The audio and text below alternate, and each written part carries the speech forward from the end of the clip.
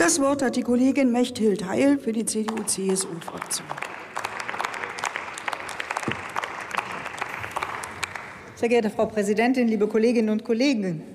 Ja, mit 735 Millionen Euro ist das Ministerium, ist der Etat des Ministeriums der Justiz und für Verbraucherschutz wirklich mit Abstand der kleinste. Und Frau Ley, Sie haben ja vollkommen recht, er ist sogar um 10 Millionen Euro kleiner geworden als im Jahr 2016. Sie sagen, das ist ein Drama. Bei Ihnen gilt ja auch immer, immer mehr, immer größer, immer weiter, Hauptsache viel Geld ausgeben. Für uns ist das überhaupt kein Drama, denn wir wissen, Geld ist eben nicht das Wichtigste. Verbesserungen für Verbraucher und Verbraucherinnen erreicht man auf ganz, ganz unterschiedlichen Wegen. Und wir haben in den letzten drei Jahren in vielen Bereichen gezeigt, wie das geht, sei es im Finanzmarkt oder im Bereich der Rechtsdurchsetzung, bei der außergerichtlichen Streitbeilegung oder beispielsweise beim Online-Kauf. Denn Verbraucherschutz, da zeigt sich auch in diesem Haushaltsplan, findet eben nicht nur im BMJV statt. Andere Ministerien setzen auch verbraucherpolitische Schwerpunkte. Um einige Beispiele zu nennen, im Verkehrsministerium werden jetzt 1,3 Milliarden Euro für den Breitbandausbau bereitgestellt.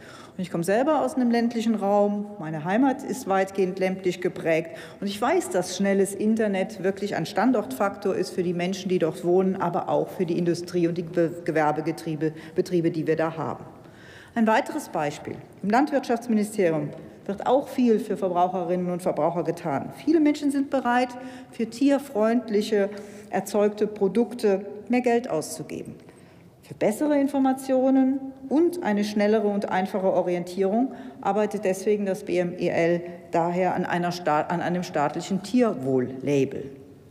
Im Finanzministerium wurde das Zahlungskontengesetz erarbeitet arbeitet. Das ist jetzt gerade seit dem 1.9. in Kraft getreten.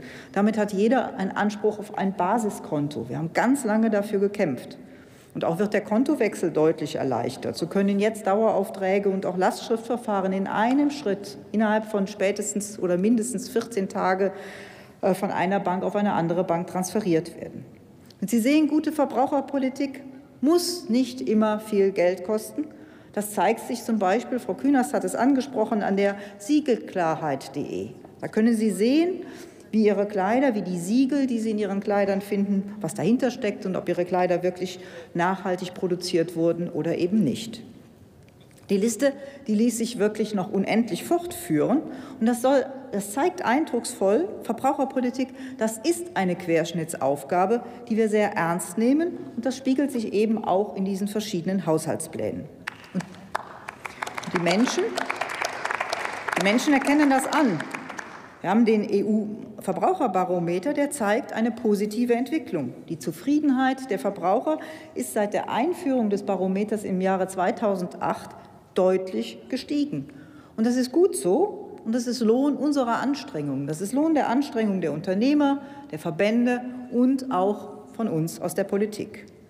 Es wird aber auch in diesem Barometer aufgezeigt, dass es da wirklich hier und da noch Handlungsbedarf gibt. Zum Beispiel sagt man im Gebrauchtwarenmarkt, Wagenmarkt und im Elektronikmarkt. Auf dem Erreichten ausruhen, das ist halt sicherlich nicht die Option, die wir haben. Das wollen wir nicht tun. Und wir sehen überall neue Erfindungen, wir sehen neue Ideen. Und gerade im Bereich der Digitalisierung entstehen neue Möglichkeiten für den Verbraucher. Aber neben den neuen Möglichkeiten entstehen natürlich auch immer viele Risiken. Und deswegen haben wir uns die Frage gestellt, reicht eigentlich der bisherige Rechtsrahmen? Gibt es Nebenwirkungen, die nicht erwünscht sind? Können Verbraucher ihre Interessen wirklich durchsetzen oder müssen wir nachsteuern? Und das möchte ich vorab wirklich ganz klar sagen.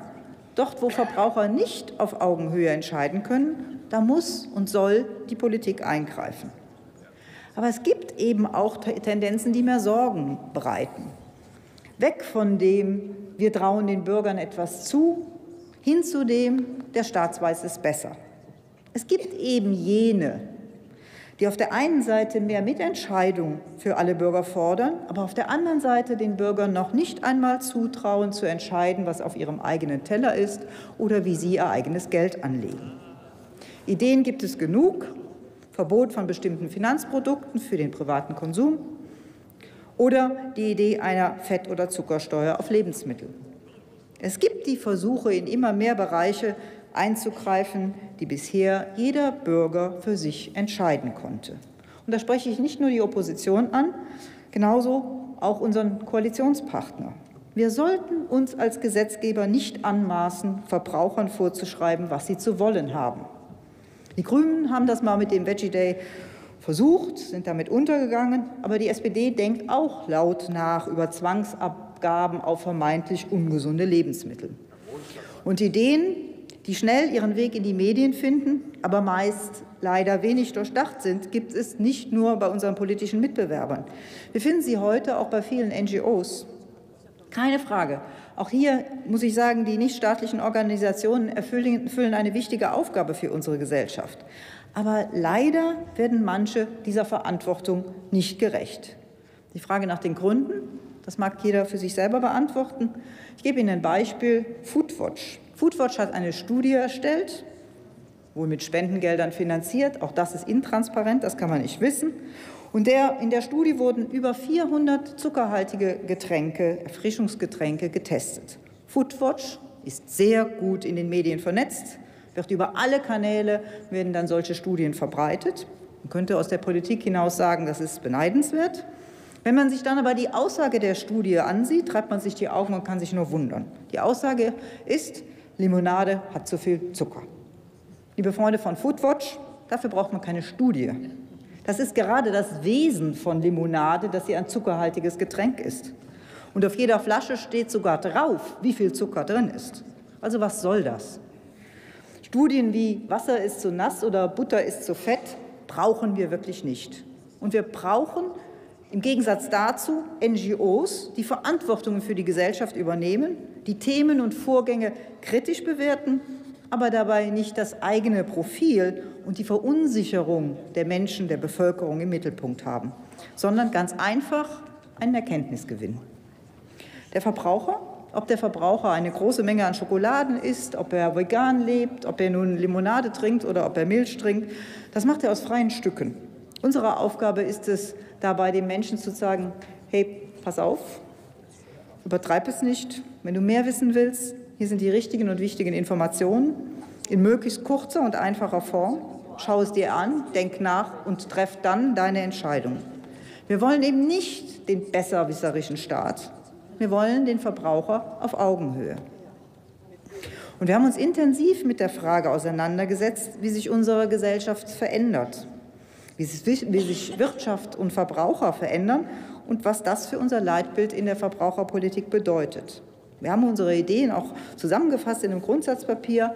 Aber ich kann Ihnen sagen, die Grundsätze unserer Politik werden sich nicht ändern. Sie haben Bestand, weil sie gut und richtig sind und sich auch bei den neuen Herausforderungen wirklich bewährt haben. Eine einfache Tatsache.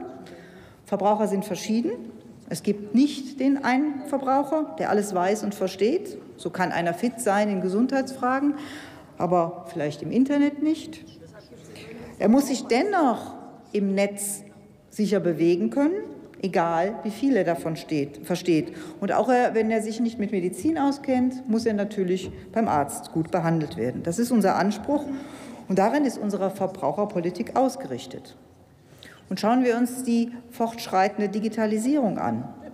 Verbraucher müssen auch in dem Bereich frei entscheiden können, ob sie ihre Daten für eine Dienstleistung preisgeben wollen oder nicht. Haben viele Entwicklungen. Sehen Sie sich die Fitness-Apps an, die zu günstigen Tarifen jetzt vielleicht bei einer Krankenkasse, vielleicht bei mehreren Krankenkassen führen oder bei Versicherungen. Dem kostenlosen Facebook-Account, die vielen Daten, die in einem vernetzten Auto gesammelt werden oder auch bei Gewinnspielen. Die EU-Datenschutzgrundverordnung bietet sicherlich eine gute Basis dafür, damit weiter umzugehen. Und bei der Themenvielfalt, die ich hier aufgeblättert habe, wird deutlich, wie sehr die Verbraucherpolitik eine Querschnittsaufgabe ist. Die Themen des Verbraucherschutzes sind in vielen Ministerien und auch Behörden verankert. So haben wir das Aufsichtsziel, Aufsichtsziel des kollektiven Verbraucherschutzes auch bei der BaFin verankert. Das zeigt, der Verbraucherschutz rückt immer weiter in den Fokus der staatlichen Aufsicht. Deshalb wichtig ist es für Verbraucherpolitik, nicht so sehr, wie viel Geld es gibt. Gute Verbraucherpolitik macht man mit einfachen und klaren Informationen, mit sauber erarbeiteten Erkenntnissen aus der Forschung, mit guten Gesetzen und einer funktionierenden Rechtsdurchsetzung. Und Herr Maas, Ihr Etat für Öffentlichkeitsarbeit ist im letzten Jahr sehr angewachsen und wird auch in diesem Jahr nicht gekürzt werden. Sie wollen in die Öffentlichkeit, und das sieht man. Aber das darf nicht dazu führen, dass Sie sich in laufende Verfahren einmischen.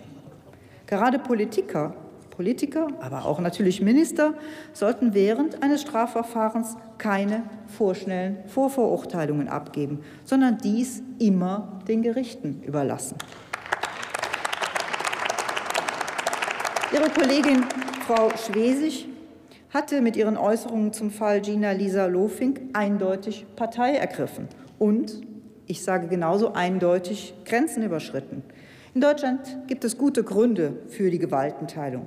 Es ist Sache der unabhängigen Justiz, Personen zu verurteilen oder freizusprechen. Politiker sind nicht die besseren Richter. Und noch ein Wunsch noch ein Wunsch am Ende. Wenn Sie jetzt noch, Herr Minister Maas, bei den anstehenden Umstrukturierungen im Haus, in Ihrem Haus, wirklich den Bereich der Verbraucherpolitik stärken und nicht nur eine parteipolitische Strategie verfolgen, dann könnte es ein gutes Jahr für den Verbraucherschutz und die Justiz werden. Vielen Dank. Vielen Dank. Das Wort hat jetzt der Kollege Hans-Christian Ströbele für Bündnis 90 Die Grünen.